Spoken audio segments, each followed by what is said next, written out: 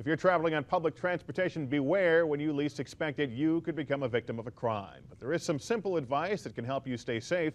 Channel 2's JJ Bittenbinder tells you how to make sure you don't invite trouble. Today we're going to discuss public transportation and safety on the elevated stations and on the elevated trains.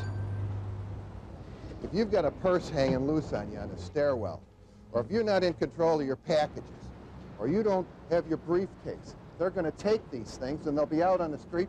Keep your purses and things in front of you where you can control them.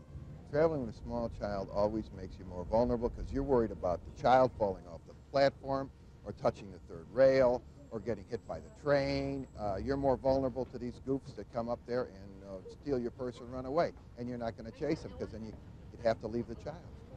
If you're going to read a newspaper, that's a way to make, make sure you have control over your belongings. As you're getting on and off the L, that's you, when jostling is normal and you bump into other people and people bump into you, that's the time you have to be especially aware about where your belongings are. This turnstile is how you exit the L station to get back to the street. This is a very vulnerable spot because if you start into this thing and you are caught, you are pretty well caught, you can't back this thing out. And if they get you in the middle here, they're going to take your purse, they're going to take your wallet, and there's no way for you to go. Bullet points. On public transportation, be alert. Be careful in the stairwells. That's when you're most vulnerable to pickpockets and somebody jostling you and stealing your purse. When on a platform, stay away from the edge. Stay closest to the center of the platform. If you're reading a newspaper, make sure you got your purse or your briefcase in front of you where you have control over it.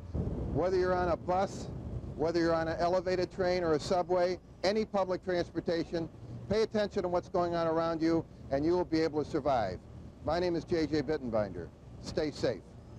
And JJ offers one more piece of advice when you're traveling at night. Don't wait on the platform. Wait downstairs until you hear your train approaching.